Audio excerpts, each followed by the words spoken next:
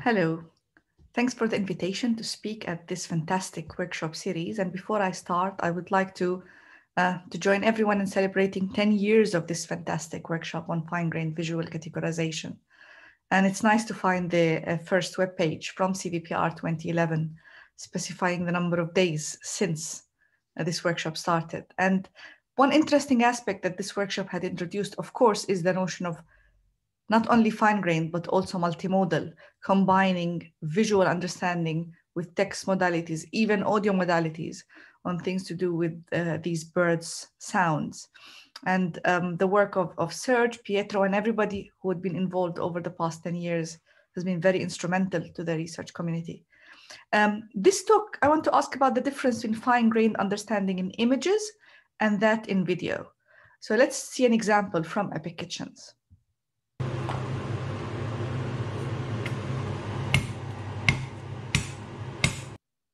So in this particular example, and I was keen to show you the audio as well, um, the questions isn't really what type of garlic this is, because that can be achieved from individual images.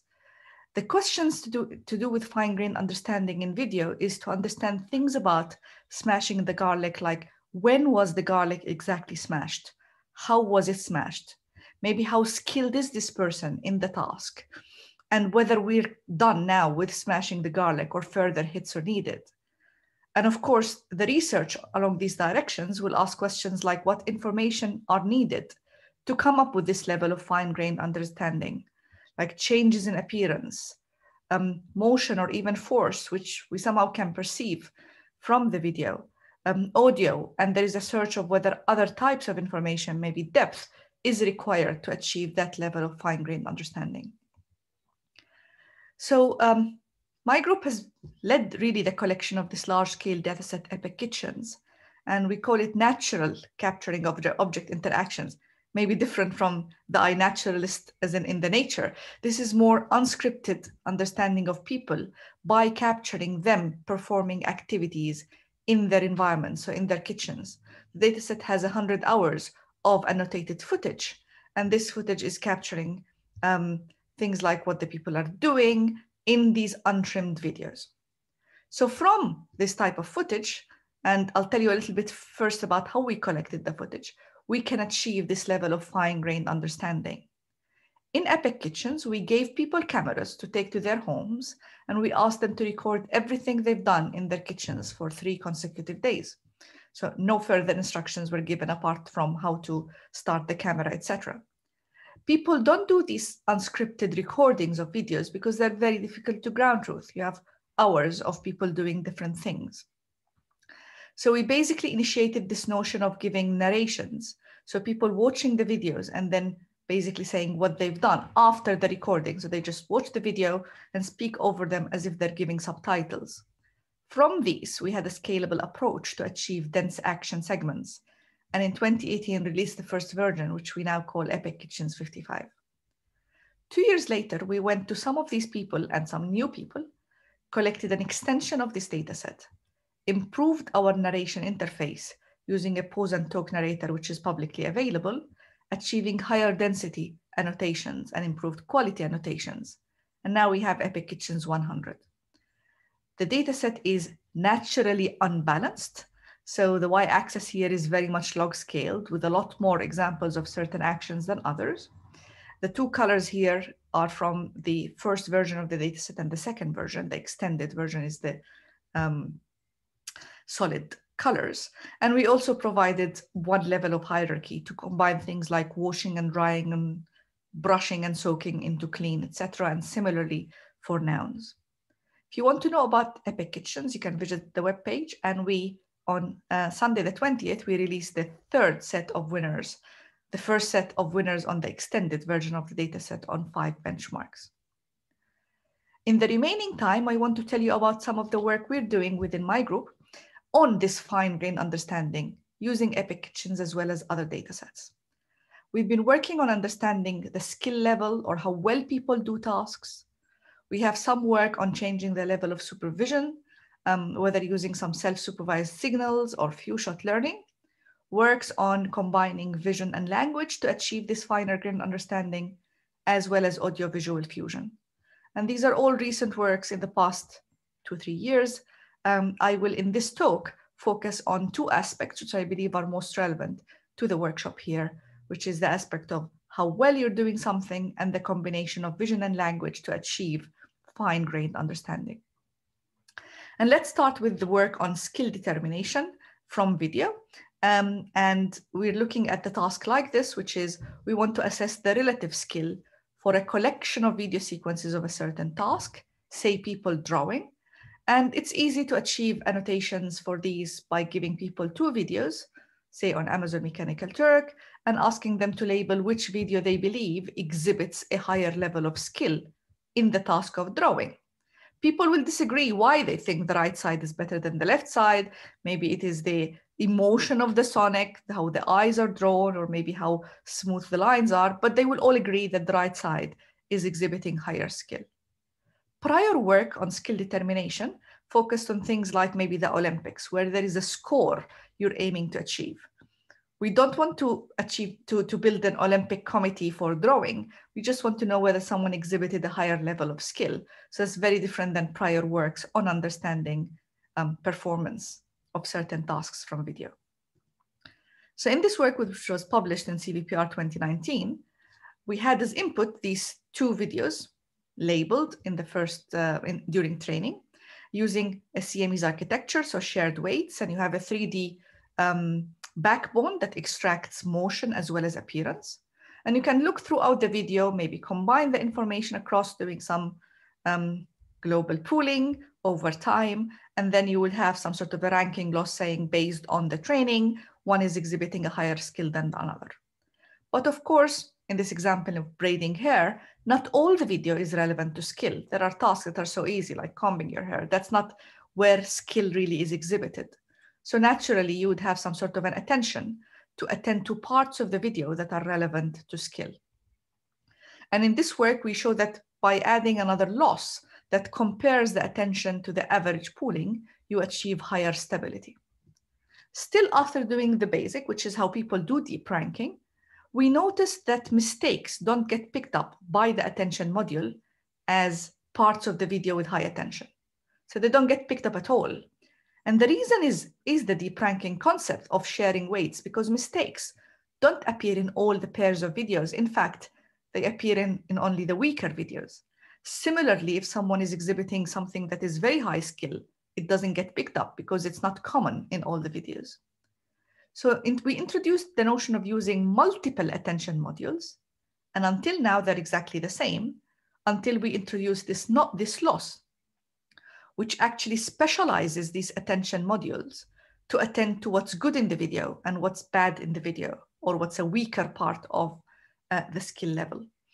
And these are attended to again in a Siamese architecture, and we call this the pros and cons. Through training, we have these high skill attention, attending to what makes a video of a higher skill and weaker skill. And indeed, these are successful in picking up these mistakes. So for example, this is the low skill attention module in different tasks. And in applying eyeliner, it is when pe the people are removing a bit of what they've done. So it is it had learned to pick up that this is evidence of low skill, or when people unfold in origami. In contrast, in the high skill, you have people firming their fold in origami as evidence of high skill. And I very much like the last example of drawing, because this is picking hesitation or stopping as evidence of high skill in drawing, while other tasks, like maybe putting makeup, pausing is evidence of low skill. The power of machine learning in computer vision is that we no longer have to think about these tasks or these handcrafted behaviors, and these are learned from the training data.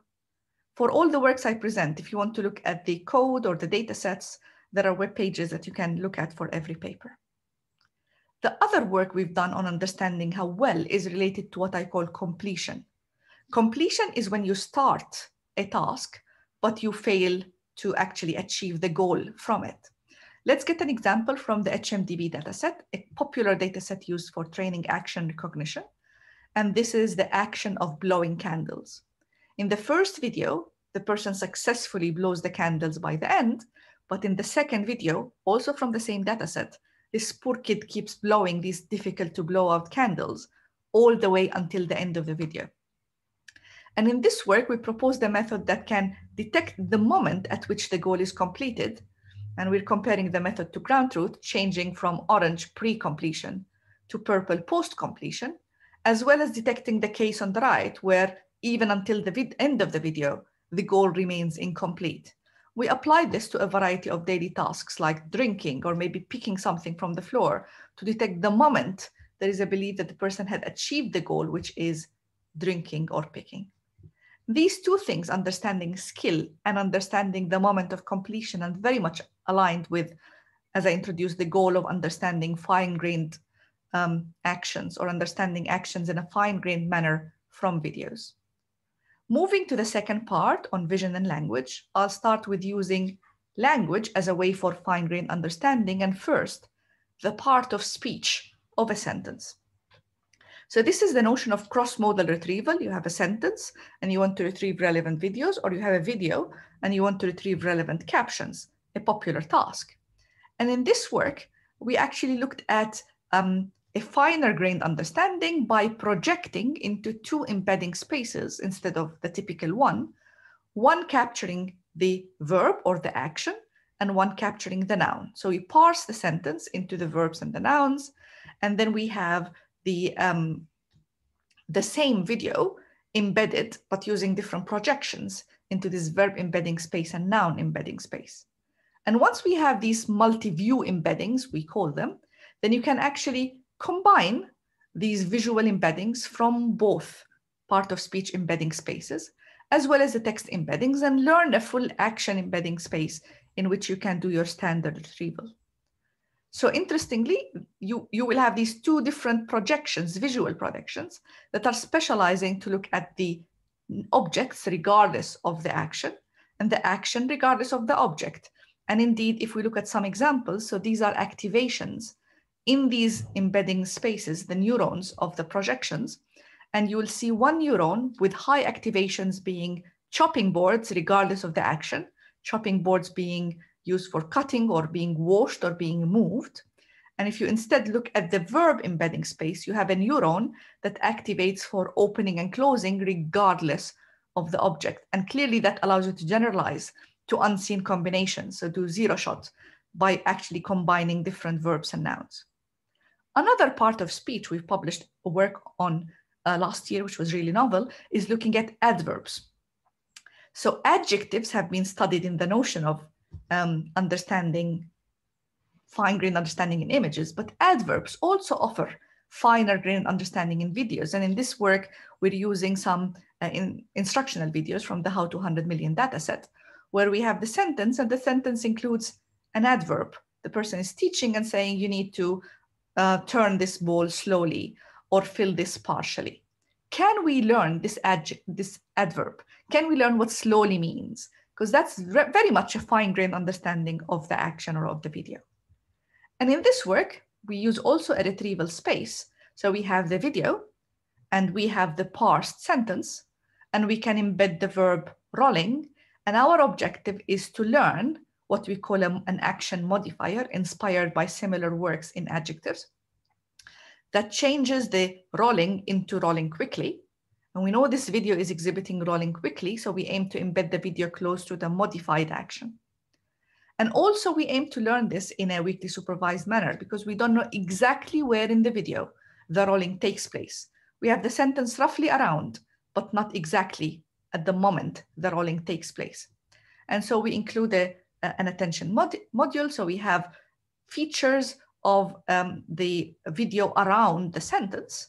And then we're using the verb as a query to attend to the parts of the video relevant to the action rolling, which is then embedded close to the learned modifier, learned modified verb into um, rolling quickly.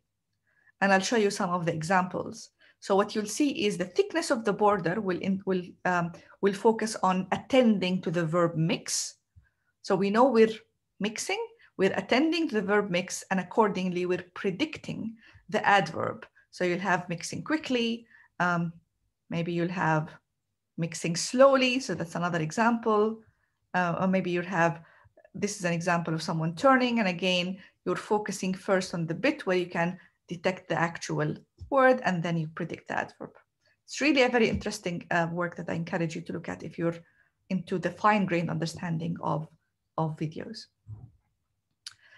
Uh, last, in the in this sense, and there is one more work after it, is a work we're presenting this CVPR, or we presented this CVPR because you'll see this after the presentation on understanding the link between videos and captions. And that's a common problem in video understanding because we have a video and a set of captions. And correctly, we want to identify the caption that's most relevant or maybe rank these captions. But there are lots of data sets where you have the video on the left, a set of captions on the right. And according to the dataset, one caption has been corrected, collected with this video and is deemed correct. Another equally relevant caption, like a demonstration of origami, is considered wrong because it has not been collected with this exact video. And this assumption that there exists only one corresponding caption in the retrieved sentences is invalid for many datasets we looked at. For example, the MSR VTT dataset, very popular in video retrieval. You'd see this video on the right. This is a keyframe. The ground truth is a band is performing for the crowd. Indeed, in my opinion, the last sentence, three guys singing and playing is actually more relevant because there are no crowd actually appearing in this video. But if a method actually retrieves the last sentence as the top sentence, it will be penalized because that's not the ground truth. So the question is, how can we improve this? for these large scale data sets without having to label every relationship between a video and a caption, because that's very expensive. In the work, we propose proxies that look at the relevance between the captions, assuming that the caption has sufficient information to describe the video. And we propose a number of, of proxy, proxy functions and discuss their pros and cons. With these proxy functions, we can then look at the video the caption according to the ground truth, the other captions that are also relevant. And for each method, we can look at the top performing, the, the highest retrieval and the lowest retrieval, because these are all relevant. So we can look at the range of performance of that particular method. With that range, we can add that as bars on the geometric mean, which is the uh, metric used for these video retrieval tasks. And we can see that the bar is very big. In fact, in many cases, it doesn't distinguish the baseline, which is MME, just an MLP, with more recent and supposedly better methods. So we propose instead to use a, a continuous scale of relevance between videos and captions um, and using NDCG as a metric. And when we do so, interestingly, we actually, so the left side is the instance, the old style, and the four other ones are the proxy measures we propose. And for every one of them and every data set, as you can see in the paper, if you look in more, if you read it, for every case, you no longer have a distinction between the baseline and these newer methods. In fact, the baseline can outperform these newer methods when we incorporate this understanding of semantic similarity and we remove this incorrect assumption that the video is only relevant to one caption. Before time finishes, I want to show you some work we presented last year in ACCV about explainability of videos. Given a video passed to a model, you can predict how likely it is of a particular class. But this work looks at the response of the um, model to this video and breaks it into the prior probability of the class and then the contribution of every individual frame to know which frame is actually most influential in making that decision inspired by um, works in, in game theory, you can then add one frame, sorry, add one frame, look at then the difference between the expected prior and the frame, then add another frame, and then again look at the difference and add a third frame. And you can accordingly look at the difference between these responses, and these have to be attributed to this added frame. But of course, you can add frames in any order. So in this work, uh, we published code for this, you can actually calculate all possible combinations fairly efficiently. You can also note that some frames actually contribute negatively to the model's response. Actually, not having that frame in the video is actually, can improve the performance of the model in the sense it can make the model more um, correct for a certain class because that frame might be either ambiguous or more relevant to other classes in the dataset. And um, our work is then enabling you to get this understanding of all frames and attribute the, the frame's response to a particular class, including negative ones. This is from the something something dataset. And what you can see is that the action is showing that something is empty. And when the person actually flips, they're not really contributing to that class. And that is giving you negative contributions um, of these particular frames. We have a published public dashboard that allows you to play with this task.